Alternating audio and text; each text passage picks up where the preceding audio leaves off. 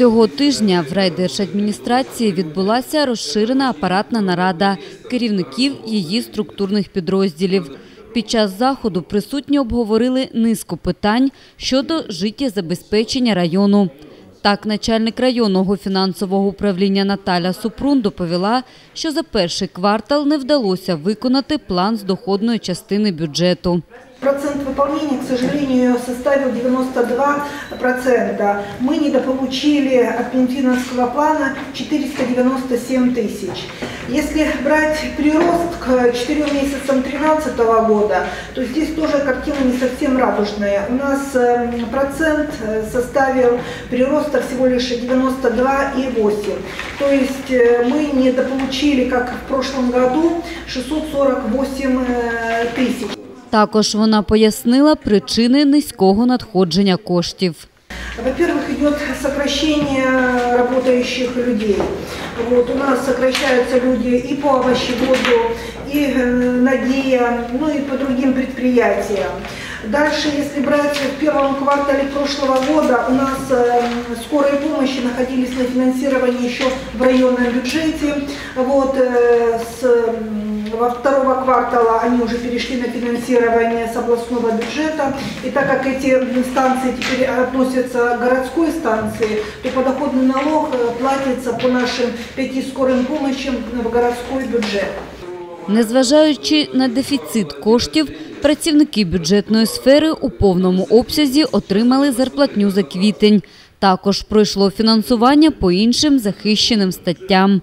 Начальник управління пенсійного фонду в місті Мелітополь та Мелітопольському районі Світлана Христова розповіла, що пенсії в районі виплачуються без затримок, і пенсіонери отримують їх згідно встановленого графіка. За перший квартал 2014 року надходження до пенсійного фонду склали 101%. 40 6,5% это фонд заработной платы бюджетных установ по Мелитопольскому району в общей сумме составляет, вот мы выплатили, не мы выплатили, а на территории Мелитопольского района хозяйственные структуры вместе с бюджетными установами выплатили 196 миллионов 258 тысяч заработной платы вот за три месяца. Питання, якому приділили особливу увагу, це одноразові виплати ветеранам до Дня перемоги. В районі такі виплати отримають 1594 учасники бойових дій на загальну суму 698 тисяч гривень.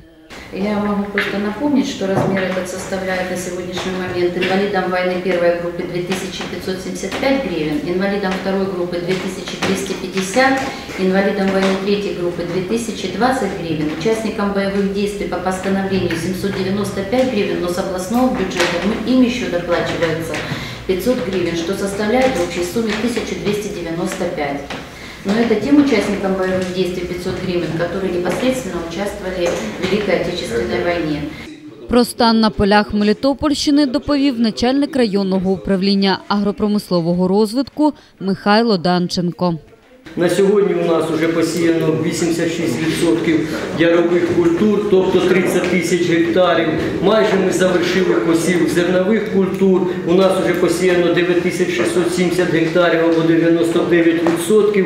На 101% ми виконали е, план посіву Сої посіяно 4581 гектар і залишилося у нас іще досіяти соняшник. Фактично на сьогодні соняшник вже посіяно 12 тисяч 567 гектарів, тобто 75%. Культури знаходяться в доброму та задовільному стані, але все ж таки на проведення весняно-польових робіт в цьому році набагато більше витрачено коштів в зв'язку з е, підвищенням цін на всі матеріально-технічні засоби, тобто вирощування даних культур, у нас при вирощуванні цих культур повишається собівартість даних культур.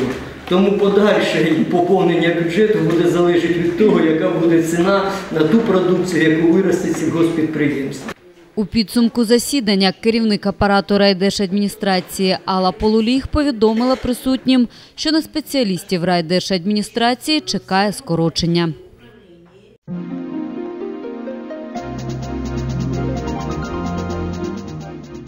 Цього тижня депутат Мелітопольської районної ради Євген Любцов зустрівся з колективом Мелітопольської центральної районної лікарні.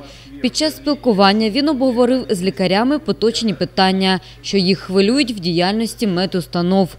Також депутат закликав медпрацівників не залишатися байдужими до долі країни та прийняти активну участь у позачергових виборах президента України, які мають відбутися 25 травня.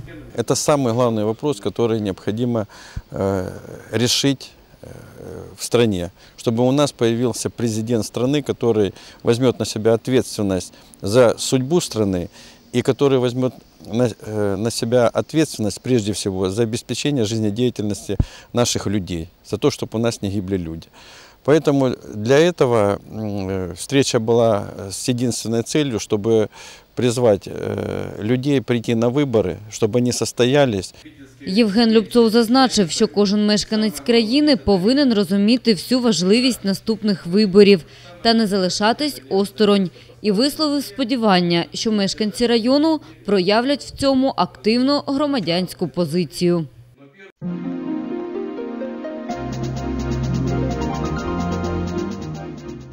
8 травня голова Мелітопольської районної ради Юрій Єсипенко, Семенівський сільський голова Андрій Єрмоленко та секретар Семенівської сільської ради Віра Башаріна завітали до почесного громадянина Мелітопольського району Лесі Кузьменко. Посадовці подякували пенсіонерці за довголітню та сумлінну працю на благо Мелітопольщини та привітали зі світлим святом Дня Перемоги. Також Юрій Єсипенко вручив Лесі Кузьменко почесну грамоту Мелітопольської районної ради та грошову премію. Велику частину свого життя Леся Михайлівна присвятила розвитку Мелітопольського району. В різні часи займала посади голови та секретаря парткому колгоспу та отримала безліч нагород всіх рівнів за свою роботу. –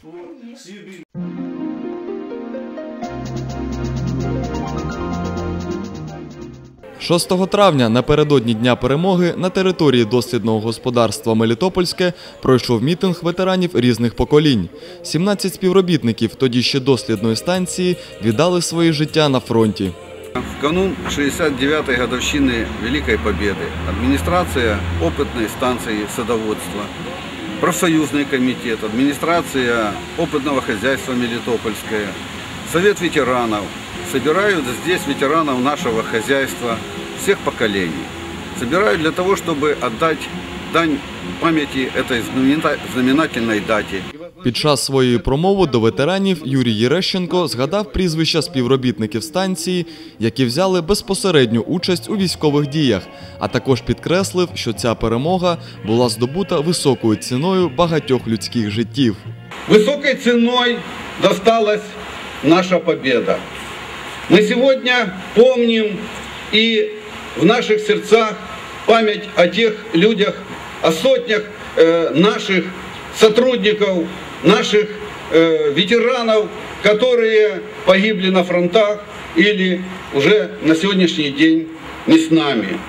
Після промови присутні поклали квіти до монументу на знак вшанування пам'яті загиблим героям. По завершенні офіційної частини ветеранів традиційно запросили до невеличкого святкового столу, де вони мали змогу поспілкуватись у неформальній обстановці.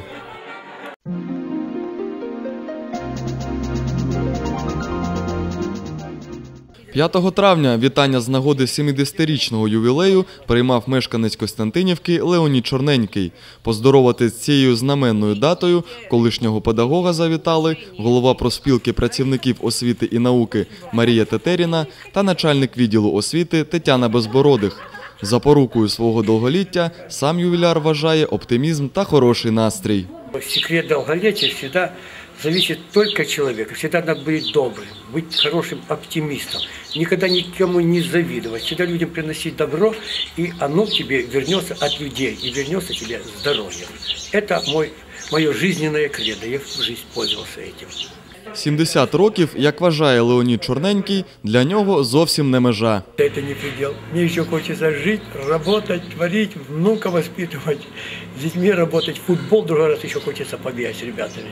Ювіляр присвятив викладацькій діяльності 32 роки. За цей час він встиг побувати на різних посадах, починаючи від вчителя фізичного виховання і закінчуючи заступником директора з виховної роботи. Як пригадують колишні учні іменинника, він завжди був і залишається доброзичливою та життєрадісною людиною, з якою завжди було легко знайти спільну мову.